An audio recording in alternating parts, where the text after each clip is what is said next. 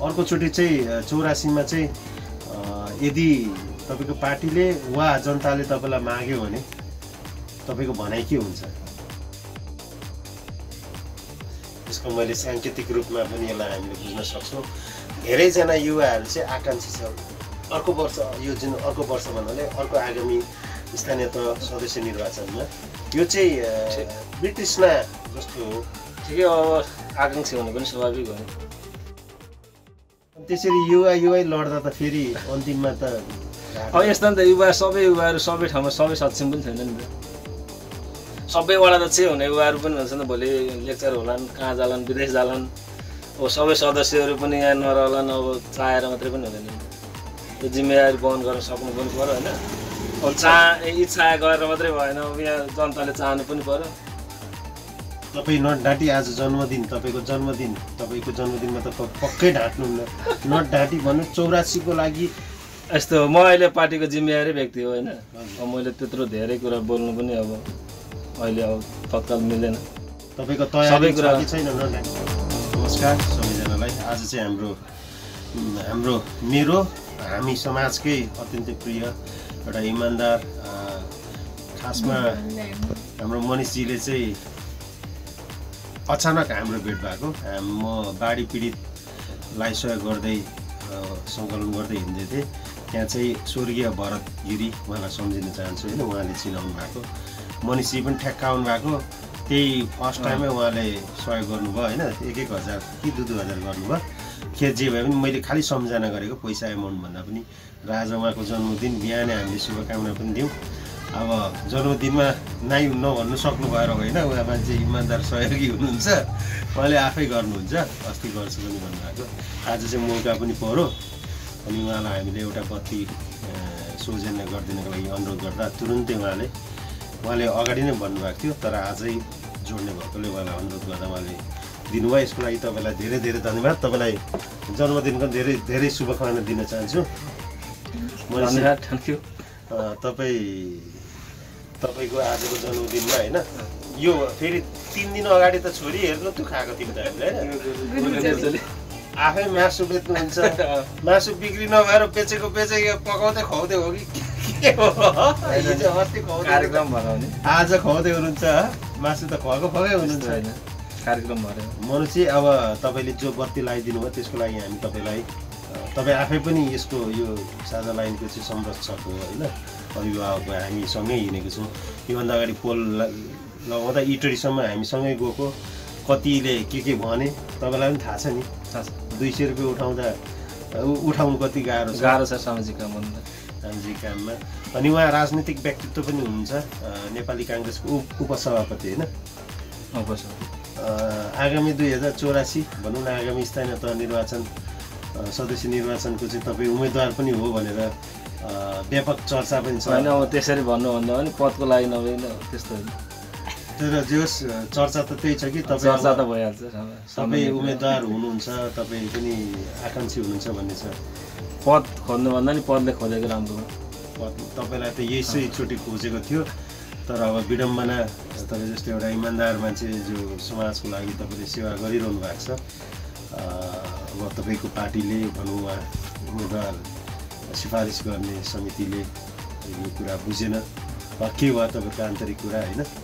अर्कोचोटि चाहिँ चौरासीमा चाहिँ यदि तपाईँको पार्टीले वा जनताले तपाईँलाई माग्यो भने तपाईँको भनाइ के हुन्छ? त्यो धेरै टाइम छ बिचमा होइन त्यही त। अलरेडी तपाईँ त गरिसक्नु भएको त्यही त मेरो भनाइ भन्दा हो भन्दा पनि अब मैले पद खोज्नुभन्दा नि पदले खोज्यो भने अब त्यतिखेर खोज्यो भने के गर्नुहुन्छ त्यतिखेर जनताले अब- जनताले? तपाईँलाई चाह्यो मनिषी आउनुपर्छ यस्तो हुन्छ अब परिवार घर पार्टी भन्दा पनि माथि उठेर पनि योगदान गर्नुपर्ने हुनसक्छ यसको मैले साङ्केतिक रूपमा पनि यसलाई हामीले बुझ्न सक्छौँ। धेरैजना युवाहरू चाहिँ आकाङ्क्षी छ अर्को वर्ष यो जुन अर्को वर्ष भन्नाले अर्को आगामी स्थानीय तह सदस्य निर्वाचनमा यो चाहिँ ब्रिटिसमा जस्तो हो। ठिकै अब आकाङ्क्षी हुनु पनि स्वाभाविक हो नि। त्यसमा अब सबै आकाङ्क्षी हुँदा सबैको पुरा हुन्छ भन्ने पनि हुँदैन नि त। तर स्वतन्त्रता खुला छँदैछ। खुला हुन्छ। त्यो अब सबै आफ्नो आफ्नो क्षेत्रबाट लागि लागि परेपछि अब आउने त एकजना दुईजना त हो। अनि त्यसरी युवा युवै लड्दा त फेरि अन्तिममा त अब यस्तो नि त युवा सबै युवाहरू सबै ठाउँमा सबै सक्षम पनि छैन नि त। सबैबाट त चाहिँ हुने युवाहरू पनि हुन्छ नि त भोलि लेक्चर होलान् कहाँ जालान् विदेश जालान्। अब सबै सदस्यहरू पनि यहाँ नरहलान् अब चाहेर मात्रै पनि हुँदैन। त्यो जिम्मेवारी वहन गर्न सक्नु पनि पऱ्यो होइन? अब चाह इच्छा गरेर मात्रै भएन अब यहाँ जनताले चाहनु पनि पऱ्यो तपाईँ नडाँटी आज जन्मदिन तपाईँको जन्मदिन। तपाईँको जन्मदिनमा त पक्कै ढाँट्नुहुन्न। नडाँटी भन्नु चौरासीको लागि। यस्तो म अहिले पार्टीको जिम्मेवारी व्यक्ति हो होइन? मैले त्यत्रो धेरै कुरा बोल्नु पनि अब अहिले अब तत्काल मिल्दैन। तपाईँको सबै कुरा- तयारी त भइहाल्छ नि अब आकाङ्क्षी भएपछि तयारी त हुने कुरै हुन्छ होइन। अब पार्टीको विधान नियम विपरीत अब जाने कुरो पनि हुँदैन अहिले होइन। पार्टीले मलाई अहिले जीवन अवसर दिएको छ। आकाङ्क्षा चाहिँ गर्नु। आकाङ्क्षी गर्ने उयो गर्ने मौका पाए प्रयास गर्ने प्रतिरोध गर्ने विरोध पनि गर्ने उस भए ठाउँमा फौजदारी गर्ने सङ्घर्ष गर्ने मौका पायो भने लड्ने।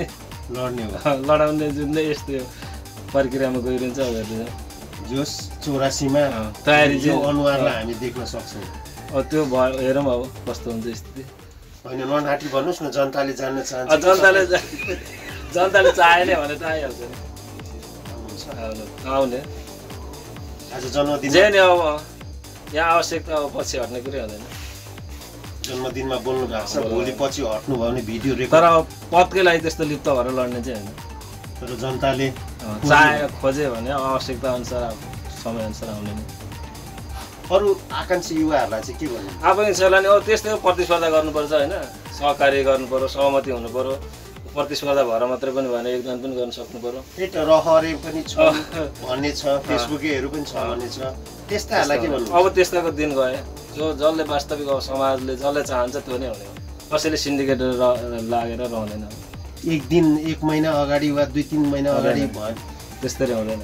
काम त गर्नु पऱ्यो नि जनताको त्यो? पार्टीको पार्टीको अब पार्टीबाटै हुनुपर्छ भन्ने पनि हुनु नहुने भयो होइन? पार्टीले उम्मेदवार दिन दिन्छ पालो पख्नै पर्छ भन्ने पनि भएन नि त अब। राम्रो मान्छे त आयो नि त। जनता जनताले चुनिनु पऱ्यो जनताको काम गर्नु गर्नु पर्यो बस त्यही हो। जो कोही यहाँ कोही अब यो पार्टी ऊ पार्टी यस्तो उस्तो भन्ने दिन गएन जस्तो लाग्छ वार्ड नम्बर बिसमा तपाईँको पार्टी बाहेकका अन्य को को देख्नुहुन्छ त्यस्तो जनताको काम गरिरहेको?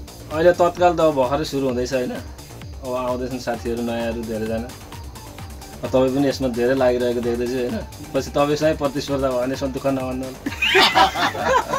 म त तपाईँहरू जस्तो युवा आउनुहोस् भन्छु। हो। मैले त्यही भन्छु यो प्रतिस्पर्धा गर्ने सहकारी गर्ने सहमति गर्ने आखिर हुने त एउटै दुइटै त हो। अत्यन्तै सौहार्दपूर्ण वातावरणमा अब त जो प्रतिस्पर्धा गर्दा जसलाई युवाहरूलाई रुचाउँछन् उयो गर्छन् त्यही आउने हो। त्यसमा सबैको चाहिँ वेलकम स्वागत हुनु पर्यो। स्वागत गर्नु पर्यो सम्मान सम्मान गर्नु पर्यो। आज म यसरी जनताले दिने म्यान्डेटमा दुःख मान्नु भएन। भएन आज म खटिरहेको छु। मभन्दा बढी खटो सरको। खटोस अर्को यसरी होइन? खट्दा त हाम्रो समाज बनियो। खटाएर समाजले पत्याउनु पर्यो समाजको विश्वास जित्नु पर्यो मेन कुरो। अब पैसा पावरबाट हुँदैन अब जस्तो लाग्छ मलाई अब हुँदैन अब हुँदैन। अब जनताको काम गर्नु पर्यो सत्य बोल्नु पर्यो होइन? र अब पालो पर्खिनु पर्छ पालै आउनुपर्छ पार्टीले टिकटै दिइरहनु पर्छ भन्ने कुरो चाहिँ मलाई त्यसमा चाहिँ मैले विश्वास गर्न सक्छु। त्यो अब सिस्टम गयो। देखाइसक्यो। जसले काम गर्छ त्यो जसले काम गर्छ जसले त्यसमा अब लागि परेर गर्न सक्छ जसले रुचाउन सक्छ त्यही हो। तयारी हुनु पऱ्यो अन्तिममा केही भन्न चाहनुहुन्छ जन्मदिनको अवसरमा? ठिकै छ मलाई अब यो बोल्ने मौका दिनुभयो। अब यस्तो सामाजिक अभियन्तालाई नै मेरो तर्फबाट पनि। छिट्टै यसको चाहिँ अब तपाईँको इच्छा पुरा होस्। तपाईँको नि अब वडा चाहिँ हुने इच्छा चाहिँ विष्णु अरूवाले पुरा गरिदियोस्। म यही भन्न चाहन्छु। तपाईँ राजनैतिक व्यक्तित्व होइन तपाईँमा जे त्यो झल्को चाहिँ प्रश्न देखेँ। अत्यन्तै सुन्दर बोल्नु हुँदो रहेछ। त्यसमाथि कुटनीतिक भाषाको प्रयोग अत्याधिक हुँदो रहेछ। तपाईँलाई पनि आगामी स्थानीय तह सदस्य निर्वाचनमा म त्योभन्दा पनि माथिको वडा अध्यक्षभन्दा पनि माथिको पदमा देख्न चाहन्छु। तपाईँ मात्र नभएर हरेक युवाहरू हरेक दिदीबहिनीहरू आमा बुवाहरू होइन? यसरी जागरुक भएर आओस्। यही शुभकामना दिन चाहन्छु। यो समय दिनुभयो तपाईँलाई धन्यवाद दिन चाहन्छु। धन्यवाद। मनिष बस्नेत हुनुहुन्थ्यो हामीसँग। सामाजिक व्यक्तित्व एकजना इमान्दार व्यवसायी। समाजका लागि हुटहुटी उहाँसँग धेरै छ केही गरौँ र समाजलाई समृद्ध बनाऊ भन्ने। आज उहाँको जन्मदिन उहाँको जन्मदिनमा बिहानै उहाँले हामीसँग सहकार्य गरेर साझा लाइनमा पैँतिस सय रुपियाँ बराबरको एक एक वर्ष वारेन्टी भएको सेन्सर लाइट साझा लाइनलाई आजै दिनुभएको छ। यसअघि पटक पटक सहयोग गर्नुभएको छ। साझा लाइनलाई मात्र नभएर वडा नम्बर बिसलाई मात्र नभएर समग्र इटरी र इटरी बाहिर सिंसरी प्रदेशलाई पनि प्रदेश एकलाई पनि यो सहयोग र समाजप्रतिको यो जन उत्तरदायित्व प्रति उहाँलाई हामी आभार प्रकट गर्न चाहन्छौँ।